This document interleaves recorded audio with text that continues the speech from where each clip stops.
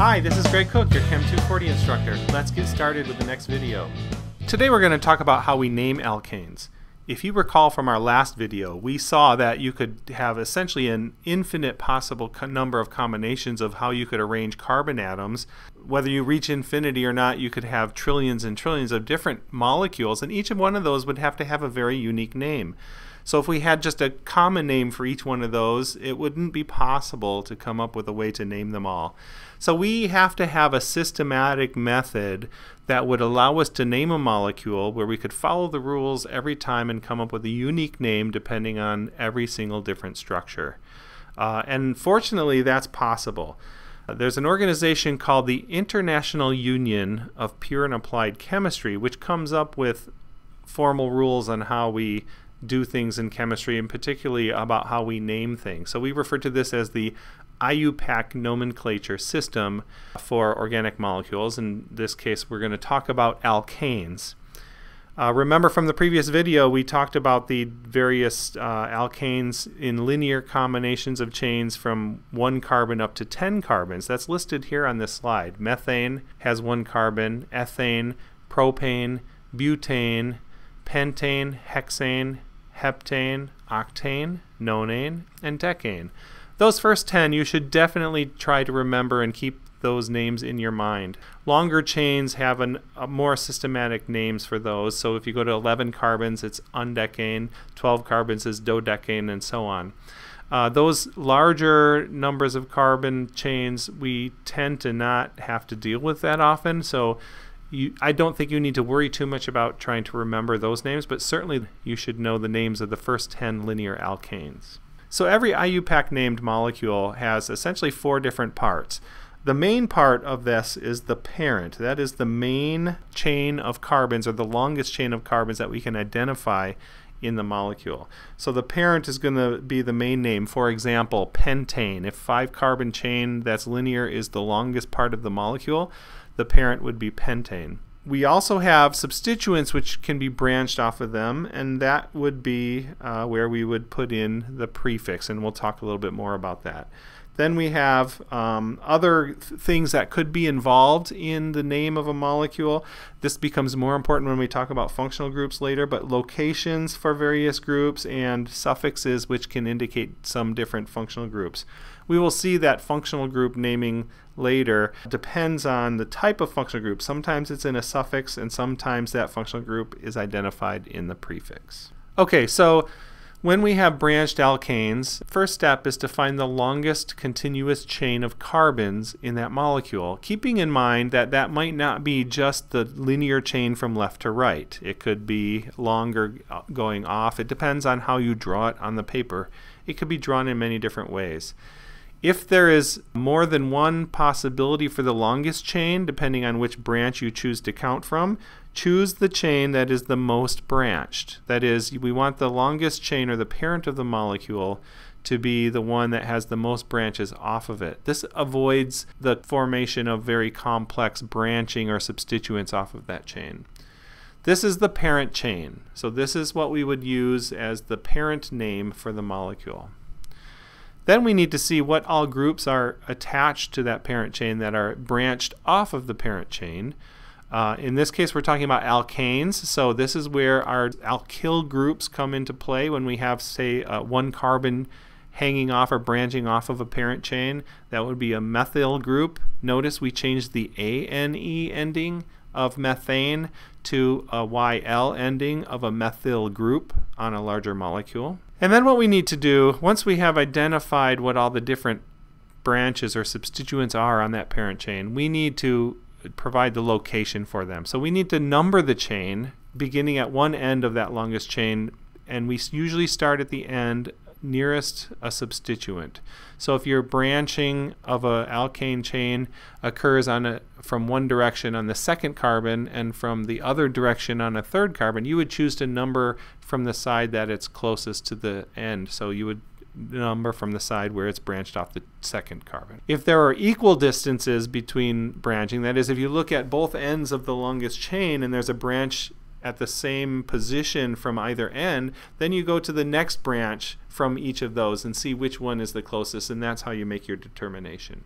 And finally, what we need to do is write the name for the molecule. We start with writing the parent name, and then we write the prefixes with comma. So we have to give the number and location of the substituent, the substituent name, and we need to tell how many of those different kinds of substituents there are. And I'll explain this in the example in a moment. If there are more than one substituent on the same carbon, they would each have the same number because we've numbered the longest chain according to the direction that we had the most branching from. If there's more than one substituent with the same name, that is, if you have a methyl group on one position and another methyl group in another position, we would use the terms di or tri or tetra referring to two or three or four of those methyl groups. So it would be like dimethyl. Then we arrange the prefixes or all the different substituents in alphabetical order according to the substituent name. That does not include the di, tri, tetra, but includes the main substituent name.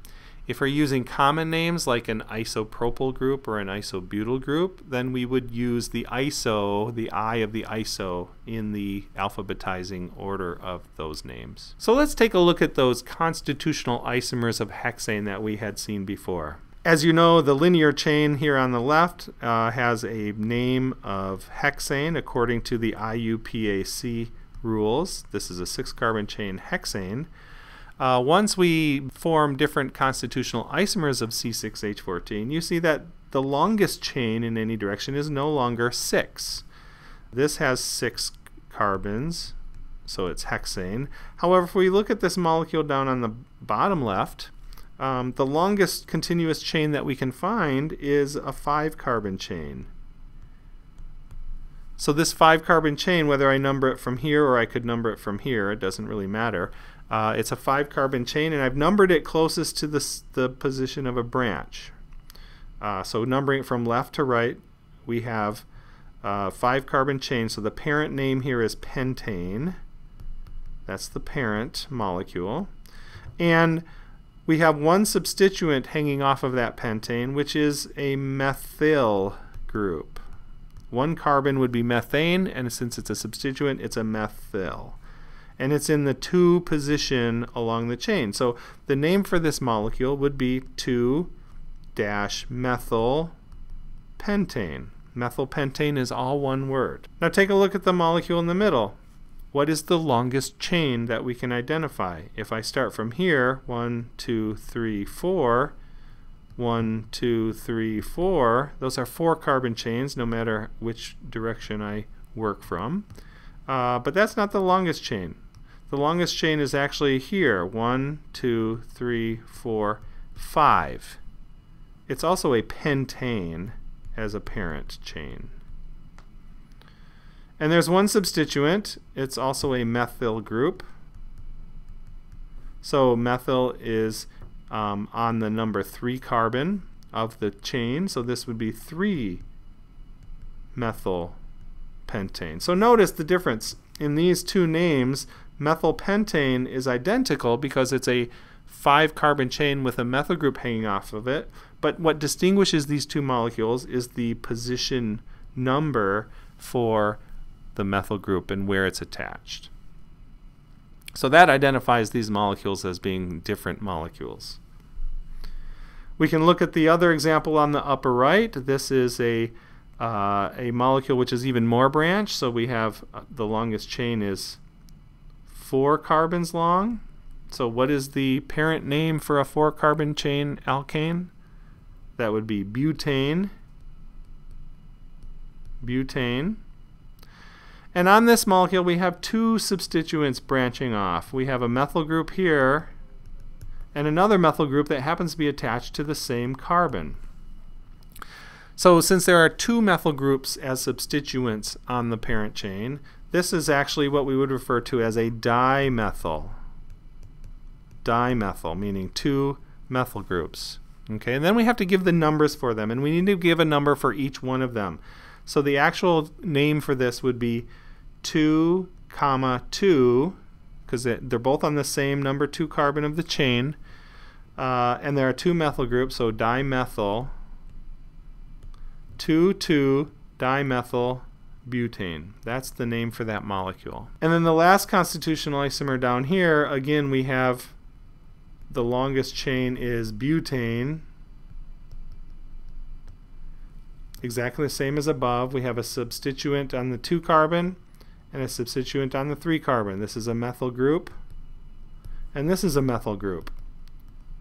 Again, we have two different methyl groups, so we have to use the prefix dimethyl to refer to two methyl groups.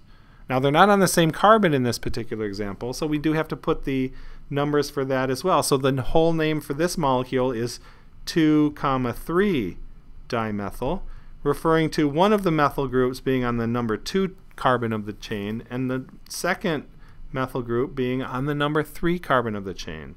So the thing that distinguishes this name for the isomer from the previous one is again just the positions of the methyl groups are different. But it is a, each a unique name that identifies that unique isomer for C6H14. Okay, let's take a look at an example that's a little bit more complex. Here's a larger molecule which has longer chains than a pentane or a hexane or a butane uh, and has more substituents. It's more branched. So we could look for the longest chain in this molecule. Uh, for example, we could start here on the left and start one, two, three, four, five, six, seven. That's a chain length of seven. Okay. Uh, we could number this a little bit differently. So we could again start from the left and draw seven, but we could draw down here in this direction. Is that the longest chain? Well, that's a seven carbon chain as well. Is that the longest chain in the molecule? Well, let's take a look at this. Uh, if we take a look at this way around the chain, we have one, two, three, four, five, six, seven, eight. That's a longer chain. Uh, and it's identical and equally long if we number it down in this direction. This would be 7 and 8. So actually 8, whether we uh, do it this way or this way, 8 is the longest chain in this molecule. So let's take a look at this molecule again. We've identified the longest chain and I'll just draw it here and identify it and show it in blue. Okay, so now that we've found our longest chain, what we need to do is identify the substituents on that chain. So if you take a look at this, we have three different substituents or branches off of the main chain we have two methyl groups and then one two carbon group which we call an ethyl group. Okay, we've identified the, the, names of those substituents, the alkyl groups, and we now need to number the chain according to the rules that we have closest to the nearest substituent. So if we start numbering from the top left, we have a uh, carbon 1 here, carbon 2 here, and carbon 3 here. Okay, now let's take a look at numbering from the other end. Our first branch from the left is on the third carbon. And if we look at the other direction, our first branch would be also on the third carbon. So there's no difference between those two substituents. So we go to the next position. So if we if we're if we're going this direction, we see that the number 4 carbon in that direction has no branch, whereas the number 4 carbon in this direction has a branch and a substituent hanging off of it. So it is this direction that we have to number the molecule from. So here are the numbers for the molecule and then the substituents with their corresponding numbers that I've written here. Uh, and overall this gives the lowest numbers on our prefix for the substituents and that's another way to check your name is correct, that you've numbered from the right direction if the numbers overall add up to a lower number. So here I have numbered the longest chain in the direction that we need to from the top left to the bottom right. It's an 8 carbon chain, so the parent of this molecule is octane. I've identified the names for the substituents. There are two different methyl groups and one ethyl group. And the numbers for the carbons that they're attached to or branched off of are also listed by those names. So what is the complete name for this molecule? Okay, so again, octane is the parent of the molecule, the parent name. And then the prefix is made up of the three substituents, one ethyl group, and it's alphabetized by the E, and two methyl groups, dimethyl, alphabetized by the M. And in addition, we have to give the locations for those. So the ethyl group is attached to the number 6 carbon and the two methyl groups are on carbons 3 and carbons 4. Thus we have the 3,4 dimethyl octane. So 6-ethyl 3,4 dimethyl octane is the name for that molecule. If you recall from our previous video, we talked about the fact that molecules can have constitutional isomers, and some of those smaller uh, numbers of carbon molecules that we have in alkanes, uh, we have some common names for. So, for example, butane. This is normal butane. And if we have the constitutional isomer like this, this we often refer to as isobutane. Isobutane. The IUPAC name for this would be what? The longest chain is 3, so it's actually a propane uh, with a methyl group on the number 2 carbon. So this would be 2 methyl propane. Okay, 2-methyl propane. So this is a common name, isobutane, which is not uh, a name based on IUPAC rules. Occasionally, there are a few common substituents when we are talking about alkyl groups on a larger chain that IUPAC does accept as being used in addition to the IUPAC rules. And particularly for some of the small branch that are a little bit more complicated molecules, uh, we can use some common names. So for example, let me just take a seven carbon chain. Five, six, one, two, three, four, five, six, seven. So this is a heptane molecule.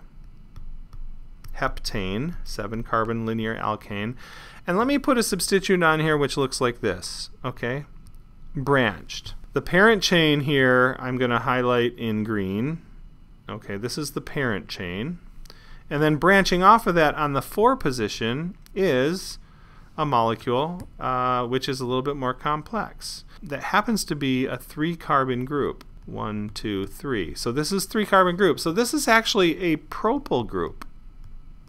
A propyl group, but it's not attached on the one carbon. A propyl would actually be attached at this position to the chain, but in this one it's attached to the main chain on the two position. So there's a common name for this. We often call this isopropyl as a substituent, isopropyl. So this molecule could be called uh, 4 isopropyl